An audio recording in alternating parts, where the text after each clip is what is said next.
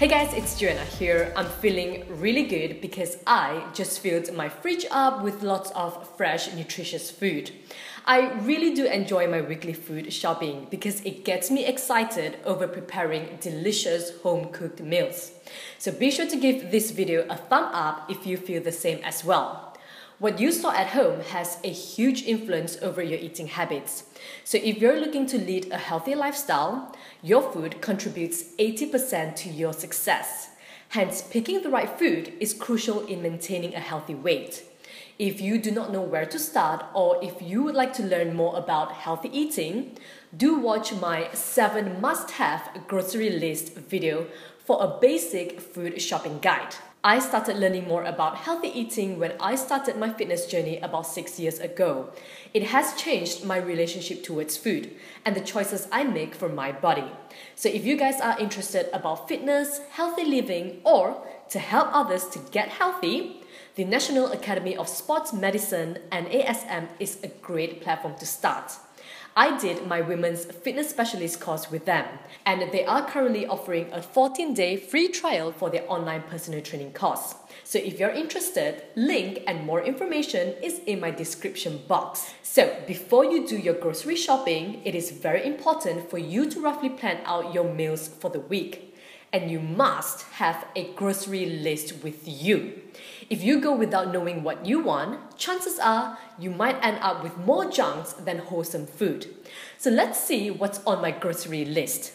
So I like to write my grocery list according to the different sections in the supermarket. For instance, I have categorized it into meat or chill section, vegetables, canned or dry food section, fruits and snacks. This helps me to move around the supermarket more efficiently, especially when I'm tight on time. So I like to start with vegetables as that's the longest on my list. I'll start with my usual favorite vegetable, carrots. I like to pick my own carrots and I prefer smaller carrots because it is easier for me to snack on the entire carrot. Here's something you might not know. I've been eating carrots almost on a daily basis ever since I was young and I have to say, it's the secret behind my good vision. So if you want good vision, snack on carrots. Next, lettuce and also cherry tomatoes. These are my favorite vegetables because they don't need any preparation and it makes it very easy for me to prep a quick salad. A definitely must have in every fridge. So if they're not on your grocery list, be sure to add them in. So let's move on and buy ingredients to make my favorite cucumber mint cooler drink. So that's one whole cucumber. You know, sometimes when I wake up with puffy eyes, I like to place sliced cucumbers on my eyes. It really helps to reduce puffiness and also make me feel more awake. I will also need some fresh mint leaves and also lime to make the natural flavored water. Let's also get some lemons to make lemon water in the morning and I also like to add lemon in my cooking. I'm actually thinking of making my favorite Malaysian crispy seaweed spring rolls sometime this week. I might even share this recipe with you. For that, I'll need yam bean, or more commonly known as sengkuang in Malaysia. Hmm. I'm also planning to stir fry some cabbage and long beans when I have my mum over this week. It's her favorite. And of course, spring onions to enhance the flavors. And just because the purple spinach looks so fresh, I'm going to get some and make herbal soup as well. So just remember to be somewhat flexible with your food shopping and choose seasonal vegetables which are fresh. I also have potatoes planned this week, so let's grab a small packet. So while walking through the chilled section looking for tofu, I noticed that my favorite mushroom is currently on half price promotion. It's not on my list, but hey, it's a really good deal. So I'm adding this into my cooking. If you're on a budget, an important tip is to be flexible and choose food which are currently on promotion.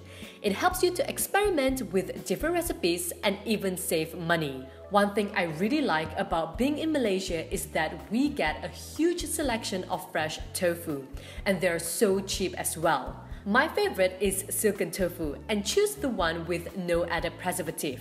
Another awesome thing about living here is that I get to enjoy fresh coconut. Yup, not bottled coconut drink, which to be honest, tastes funny and is definitely way overhyped as a health drink.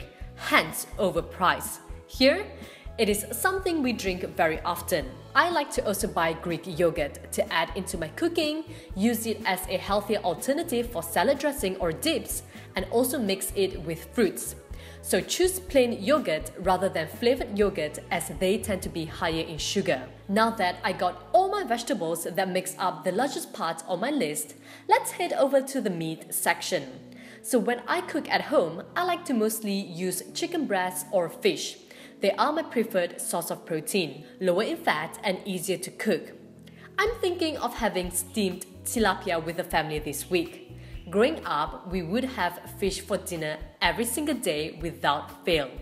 Even now, when I'm back visiting my parents, there will still be fish for dinner. My dad loves fish. And over the weekends, I like to make smoked salmon with poached eggs. I probably eat this a little too often. So let's also grab a tray of eggs. If possible, choose free range organic eggs, especially if the price difference isn't huge. I'll then head to the canned food section and buy tuna cans. With a huge selection of different brands and even flavors, it is very important to read the food label and ingredients list. I prefer the tuna chunks in mineral water as it is much lower in salt and tastes better. So I tend to stock up on tuna cans as when I'm back feeling tired and not wanting to cook, I can simply have tuna with bread or make tuna salad. So it is also very important to buy healthy convenient food. Let's also grab a can of corn kernels to add into my cooking or salad. Of course, the fresh corn will be a better option. But you know what, sometimes I do like things a little more convenient. Just remember to choose corn which are not sweetened. Next, bread for my morning breakfast. Of course, bread from the bakery tends to smell and taste so much better. I'm still discovering my neighborhood and haven't found a favorite bakery just yet. For now, I'll settle with the 100% whole grain bread. It is thin but very filling and tastes good. And not forgetting popiah or spring roll wraps to make the crispy seaweed spring rolls. Right, I'm done.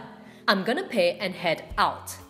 All of that costs just slightly over 100 ringgit, which is less than $30. Not a bad buy. To get my fruits, I have a favorite fruit stall which I tend to visit. I don't really have a fruit list. I prefer to see the selection of fresh fruits they have, what's in season, and decide what to buy. Look at those dragon fruits. So big and definitely look like it's going to taste sweet. So let's grab them and also mangoes. Of course, some bananas, which I like to eat on the go, add into smoothies, or even on toasts. I like to buy my fruits in small quantity to make sure that I get to eat them fresh. So I'll visit this place twice a week. Finally, to get my nuts and dried fruits, there's this small stall in a shopping center which I go to. They sell a huge selection of high quality nuts, seeds, and dried fruits at a very reasonable price and not forgetting the endless sampling that this really nice lady would offer me every time I visit.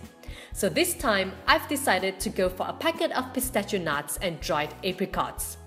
Food shopping done. So guys, that's pretty much my weekly grocery shopping.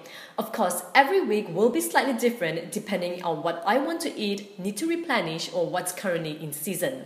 At the moment, I still have lots of basic cooking ingredients such as onion, garlic, rice, couscous, oatmeal, peanut butter, herbs, and spices, which I don't need. So let me know what's in your grocery list in the comments below. And if you find this video to be helpful, be sure to like it and share it as well. All the best!